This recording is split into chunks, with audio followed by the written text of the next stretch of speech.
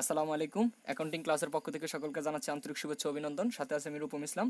আজকে আমরা যে বিষয়টা নিয়ে আলোচনা করব সেটা হচ্ছে যে জাবেদা দাখিলা তৈরির নিয়মাবলীর পার্ট টু অর্থাৎ জাবেদা দাখিলা তৈরির নিয়মাবলী আমরা এর আগের ক্লাসে শিখেছিলাম। আজকে এর বাস্তব প্রয়োগ কীভাবে বাস্তব প্রয়োগ করতে হয় সেটা আমরা আজকে শিখব। অর্থাৎ লেনদেন থেকে কীভাবে বাস্তবে জাবেদা দাখিলা প্রস্তুত করতে হয় সেটা আজকে আমরা এই ভিডিওর মধ্যে মাধ্যমে জানব।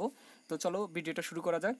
এখানের মধ্যে আমরা গত ক্লাসে বলেছিলাম যে এখানের মধ্যে এটা যদি যারা পারবে না, বিস্তার, ভালোভাবে বুঝবে না এবং যারা এটা পারবে না, তারাই মূলত কিন্তু লেনদেন থেকে জাবেদা প্রস্তুত করতে পারবে না। তো আমার যারা আমার এই আগের ভিডিওটা দেখো নাই, তারা অবশ্যই আমার আগের ভিডিওটা দেখে নিবা না তো তোমরা এটা বুঝতে পারবে না, কীভাবে বোঝানো হয়েছে।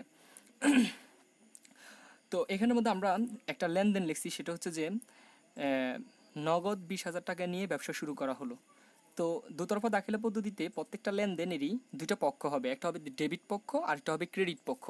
তো এখানে আমরা এখান থেকে দুইটা পক্ষ বের করতে হবে আগে সর্বপ্রথম। একটা হচ্ছে নগদ। এখানে যত নগদ দেওয়া আছে, তাহলে লিখি নগদ। আরেকটা পক্ষ যেহেতু ব্যবসা শুরু করা হয়েছে, তাহলে আরেকটা পক্ষ হচ্ছে যে মূলধন।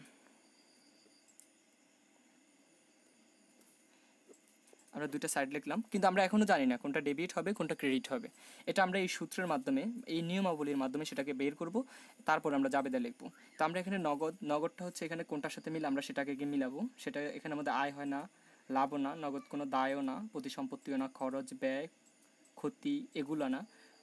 সম্পদ, নগদ সম্পদ। এখানে আমি একটা ইয়ে দিচ্ছি সেখানে মধ্যে নগদ টাকা সম্পদের অধীনে লেখা হয়েছে, তার মানে এখানে উপাদানের মধ্যে কোনটা? সম্পদ। আমরা এখানে লিগিয়াকে সেটা সম্পদ।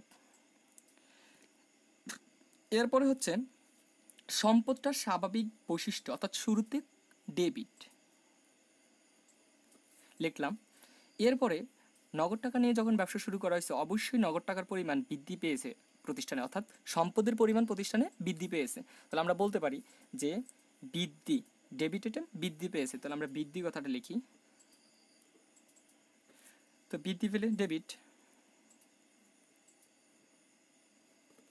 এরপরে তার মানে বৃদ্ধি অথবা হ্রাস দুটা থেকে একটাকে যখন নিয়ে নিব, তখন একটা সাইডের কাজ শেষ হয়ে যাবে আমাদের।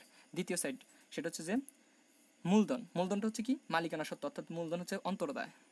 মূলধন প্রতিষ্ঠানের জন্য অন্তর্দায়। তার মানে হচ্ছে দায়। দায়টা শুরুতে ক্রেডিট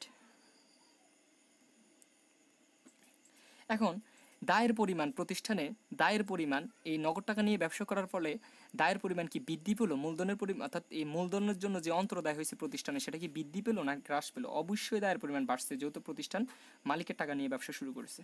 তাহলে বৃদ্ধি। এরপরে বৃদ্ধি পাওয়ার ফলে ডেবিট ক্রেডিট বৃদ্ধি পাওয়ার- পাওয়ার ফলে ক্রেডিট। তাহলে আমরা এখন জাবেদাটা লিখতে পারি। নগদান হিসাব, প্রত্যেকটা ইয়ের সাথে হিসাব লাগাতে হবে। নগদান হিসাব, ডেবিট, টাকাটা টাকার কলমে লিখে দিবা, বিশ হাজার টাকা। একটু এদিকে লিখতে হবে সেটা। কেন এদিকে লিখতে হবে সেটা আমরা এর পরের ভিডিওতে বলব। মূলধন হিসাব, ক্রেডিট। আমরা বলব, নগদ টাকা নিয়ে টাকা নিয়ে ব্যবসায় শুরু করা হলো। আমাদের একটা একটা লেনদেনে জাবেদা প্রস্তুত হয়ে গেছে। এবার আমরা দ্বিতীয় আরেকটা দেখি। নগদে ক্রয়, প্রতিষ্ঠান অবশ্যই নগদ টাকায় ক্রয় করে। তো এখান থেকে আমাদের দুইটা পক্ষ বের করতে হবে। একটা হচ্ছে ক্রয়, আরেকটা হচ্ছে নগদ। নগদ টাকা নিয়োজিত করছে, নগদ। সেম আমরা আগের মতো এখানেও দেখব। নগদ টাকা নিয়ে ব্যবসা হলো ক্রয় কয়টা প্রতিষ্ঠানের জন্য এখানে কি? আয়, লাভ, দায়, প্রতিসম্পত্তি, খরচ না ব্যয়? কয়টা হচ্ছে ব্যয়? ব্যয়ের পরিমাণ এখানে স্বাভাবিক বৈশিষ্ট্য হচ্ছে ডেবিট এখন ব্যয়ের পরিমাণ কি বৃদ্ধি পাইছে না হ্রাস পাইছে? ক্রয় করার ফলে প্রতিষ্ঠানে ব্যয়ের পরিমাণ বৃদ্ধি পেয়েছে। তাহলে হচ্ছে যে বৃদ্ধি, শব্দটা লিখব। বৃদ্ধি। তাহলে বৃদ্ধি পেলে যে আইটেম সেই আইটেম বৃদ্ধি পেলে ওইটাই থাকে। তাহলে ডেবিট নগদ। নগদটা আমরা আগেও শিখছি, নগদ সম্পদ, এখানে সম্পদের এখানে মিলাবো। সম্পদ, নগদ সম্পদ সম্পদ স্বাভাবিক বৈশিষ্ট্য ডেবিট এখন নগদ টাকার পরিমাণ কি পণ্য ক্রয়ের ফলে নগদ টাকার পরিমাণ কি বৃদ্ধি পেয়েছে প্রতিষ্ঠানে না- হ্রাস পেয়েছে?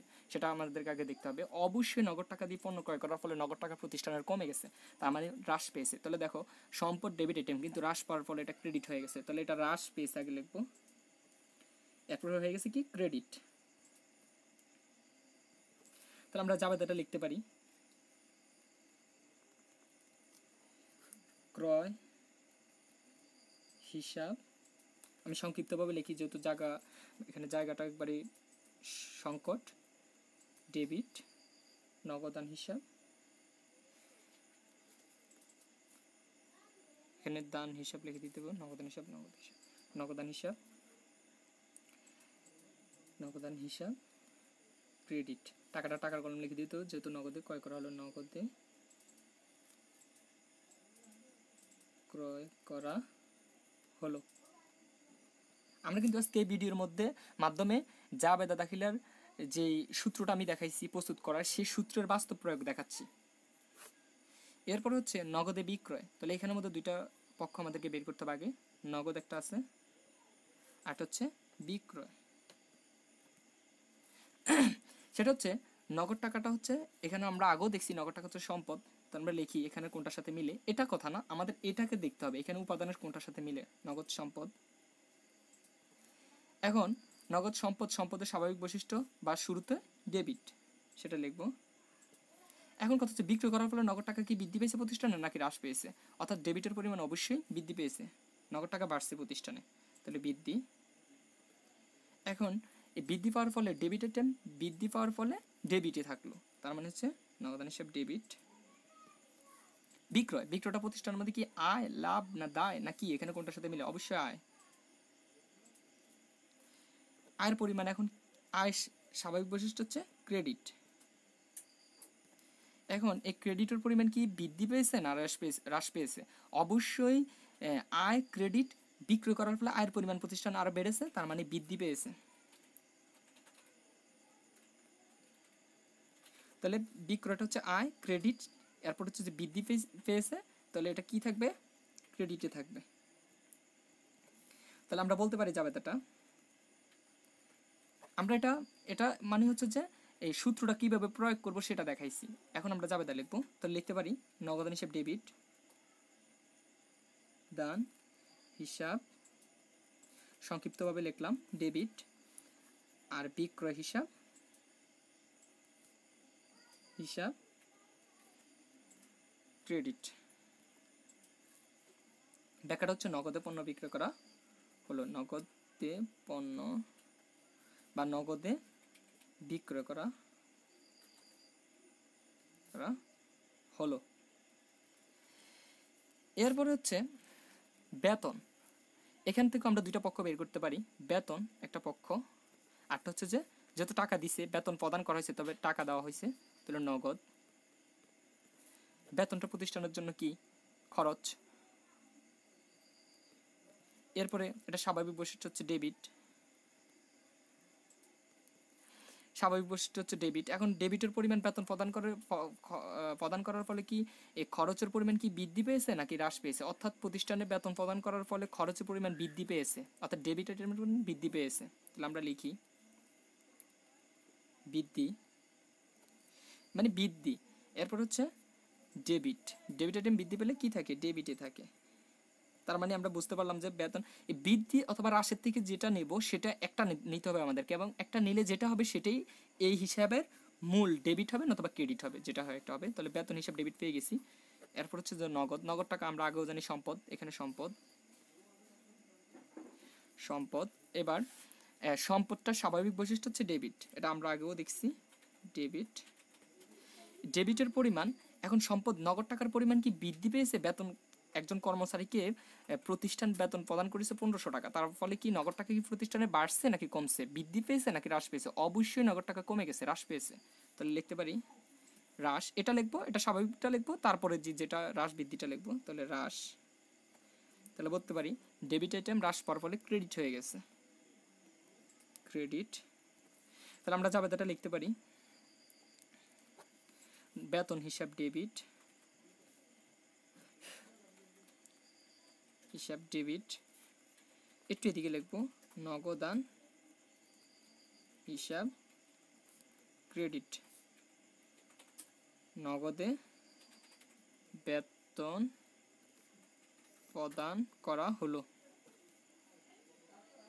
ব্যাখ্যাটাও দেখাই দিলাম আমি সাথে। এরপরে হচ্ছে আসবাবপত্র। আসবাবপত্র ক্রয় চার হাজার টাকা। প্রতিষ্ঠান যদি আসবাবপত্র ক্রয় করে, তাহলে এখানে আসবাবপত্র একটা হিসাব হবে, যত সম্পদ, আসবাবপত্র। আরেকটা যেহেতু নগদ টাকা করছে, আরেকটা হচ্ছে নগদ নগদ। এখন আসবাবপত্রটা প্রতিষ্ঠানের জন্য কি? দেখো, আসবাবপত্র এখানে কিসের মধ্যে পড়ে?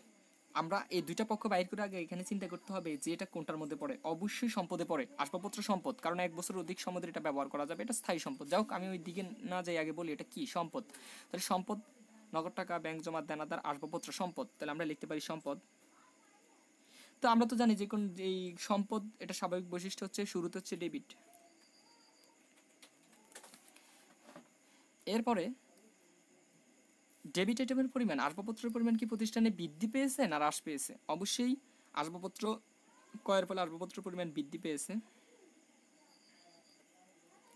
তাহলে আসবাবপত্র সম্পদ, স্বাভাবিক বৈশিষ্ট্য ডেবিট বৃদ্ধি পেয়েছে, তাহলে ডেবিটটা ডেবিটে থাকবে। তাহলে একটা পক্ষ পেয়ে গেলাম। বৃদ্ধি অথবা হ্রাস যেটার যে কোনো একটা নিলেই যেটা হবে সেটাই হবে ওই হিসাবের, ওই হিসাব হবে সেটা। এরপর হচ্ছে নগদ। নগদটা অবশ্যই আমরা আগেও দেখছি সম্পদ। সম্পদ, সম্পদের পরিমাণ কি এখানের মধ্যে কি আছে সম্পদ স্বাভাবিক বৈশিষ্ট্য হচ্ছে ডেবিট এখন সম্পদ যদি স্বাভাবিক বৈশিষ্ট্য ডেবিট হয়, এখন সম্পদের নগদ টাকা নগদ টাকা হচ্ছে সম্পদ, সম্পদের স্বাভাবিক, এই সম্পদের স্বাভাবিক বৈশিষ্ট্য হচ্ছে ডেবিট এখন ডেবিটের ফলে অর্থাৎ এই যে একটা ডেবিট হলো, এখন নগদ টাকা কি আমার প্রতিষ্ঠানে আসবাবপত্র ক্রয়ের ফলে কি বৃদ্ধি পেয়েছে? নাকি হ্রাস পেয়েছে? অবশ্যই আমরা জানি আসবাবপত্র ক্রয় করছি, আমি ওই যেখান থেকে আসবাবপত্রটা ক্রয় করে আনছি, সেখানে তাদেরকে টাকাটা দিয়ে দিতে হয়েছে। অর্থাৎ সম্পদ, এই নগদ টাকাটা আমাদের হ্রাস পেয়েছে। হ্রাস আমরা তো জানি, সম্পদ ডেবিট আইটেম হ্রাস পেলে ক্রেডিট তাহলে আমরা যাবে জাবেদাটা লিখতে পারি এভাবে যে আসবাবপত্র হিসাব সংক্ষিপ্তভাবে লিখলাম। ডেবিট নগদান হিসাব, সংক্ষিপ্তভাবে হিসাবটা লিখলাম ক্রেডিট নগদে আসবাবপত্র ক্রয় করা হলো। এই ছিল আমাদের আজকের ক্লাস। যদি ক্লাসটি ভালো লাগে থাকে তাহলে অবশ্যই লাইক কমেন্ট করবা এবং শেয়ার করবা এবং সাবস্ক্রাইব করতে অবশ্যই ভুলবা না হ্যাঁ?